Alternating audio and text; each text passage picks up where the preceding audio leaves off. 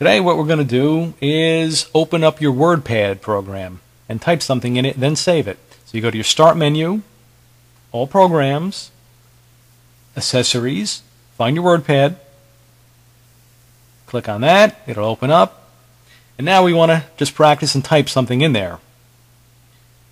Uh, for practice we'll type uh, Hello World, how's that? Okay. Now, you want to swipe that bad boy and then choose your font. You got a whole bunch of fonts to choose from, so you can just slide up and down. All. But we're going to go with the Arial font. If it's all the way up here, get the Arial. And there we go. Okay, just for practice, we'll use Arial. Now, you can also choose boldface, make it a little bigger. That's cool. And you want to choose the size now. Okay, it's a good size. Okay, well, any size you like. You choose your color of the font for the writing. Okay.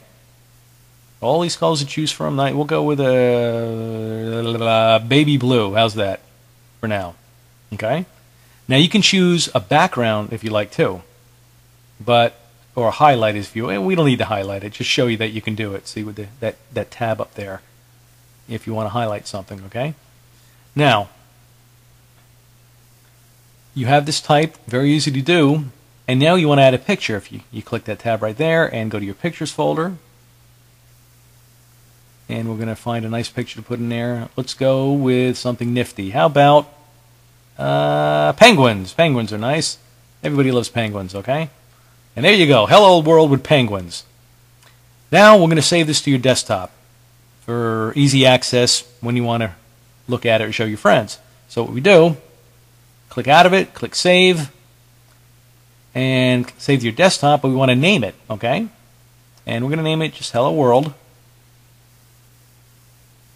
And click Save in the bottom. And there it is on your desktop.